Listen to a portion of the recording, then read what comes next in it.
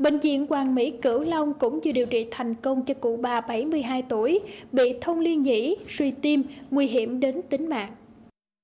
Cụ bà tên TTC ngụ tỉnh Trà Vinh được người nhà đưa vào bệnh viện trong tình trạng chóng mặt, đau ngực, khó thở. Ngay sau khi tiếp nhận người bệnh, các bác sĩ đã nhanh chóng thăm khám và thực hiện cận lâm sàng cần thiết, theo dõi tình trạng bệnh. Cụ bà được chẩn đoán thâu liên nhĩ, tăng áp phổi, suy nút xoang, suy tim giai đoạn 3.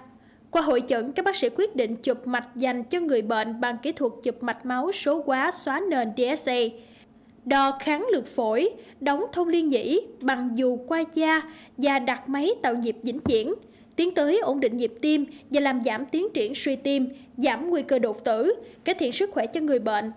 Sau 5 ngày điều trị, sức khỏe của cụ bà đã hồi phục.